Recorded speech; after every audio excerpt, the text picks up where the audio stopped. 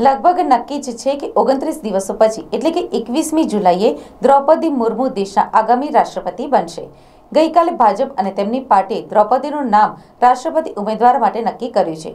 આ વાત તો દિલ્હીમાં થઈ હતી, પરંતુ ત્યારે દ્રૌપદી ઓરિસ્સામાં આવેલા તેમના મયુરભંજમાં તેમના ગામ માહુલ ડીહામાં હતા.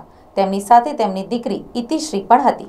ઇતિશ્રીએ જણાવ્યું છે કે સાંજે એક ફોન આવ્યો હતો. કદાચ વડાપ્રધાન મોદીનો જ હતો. તેમણે જે પણ કહ્યું, પરંતુ તે પછી માં એકદમ ચૂપ થઈ ગઈ હતી. આંખોમાં આંસુ હતા અને હોઠ સિવાઈ ગયા હતા. થોડીવાર પછી માત્ર ધન્યવાદ કહી શકી અને તે પણ ઘણી મુશ્કેલીથી દ્રૌપદીએ કહ્યું, આ ક્ષણે મારા આદિવાસી અને મહિલાઓ માટે ઐતિહાસિક ક્ષણ છે. ત્યાર પછી ઇતિશ્રીએ જણાવ્યું કે, માએ મને કહ્યું કે આ બધું જ તેમના માટે સપના સમાન છે.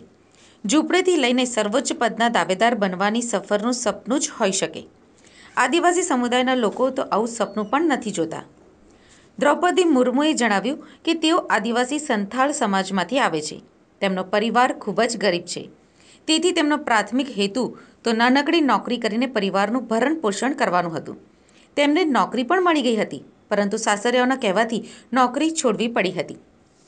તેમને નવરા બેસી રહેવાનું ના ગમ્યું. ત્યારે તેમણે ગરીબ બાળકોને ફ્રીમાં ભણાવવાનું શરૂ કર્યું. અહીંથી જ તેમની સમાજ સેવાની શરૂઆત થઈ હતી. ઓગણીસો સત્તાણુંમાં જ્યારે તેમણે પહેલીવાર રાયરંગપુર નગર પંચાયતથી કાઉન્સિલરની ચૂંટણી લડી, ત્યારે તેઓ જીતી ગયા હતા. બે હજારમાં તેમને ધારાસભ્ય પદની ટિકિટ મળી અને ત્યારે પણ તેઓ ચૂંટણી જીતી ગયા હતા. ત્યાર પછી તેઓ મંત્રી બન્યા. બે હજાર નવમાં ચૂંટણી હારી ગયા પછી ગામ પરત આવી ગયા હતા. પરંતુ આ દરમિયાન દીકરાનું એક્સિડન્ટમાં મોત થયું હતું. તેના કારણે તેઓ ડિપ્રેશનમાં જતા રહ્યા હતા. માંડ માંડ એક દીકરાના મોતના આઘાતમાંથી બહાર આવ્યા ત્યારે બે હજાર તેરમાં બીજા દીકરાનું પણ એક્સિડન્ટમાં મોત થયું હતું. ત્યાર પછી બે હજાર ચૌદમાં તેમણે પતિ પણ ગુમાવી દીધા હતા. હવે તેઓ સંપૂર્ણપણે તૂટી ગયા હતા. ત્યાર પછી તેમણે ફરી હિંમત કરીને સમાજ સેવાનું કામ શરૂ કર્યું હતું. રાષ્ટ્રપતિ ઉમેદવાર જાહેર થયા પછી દ્રૌપદી મુર્મુને કેન્દ્ર સરકાર તરફથી ઝેડ પ્લસ સિક્યુરિટી પણ મળી છે. તેઓ આજથી જ કેન્દ્ર રિઝર્વ પોલીસ બળની સુરક્ષામાં રહેશે.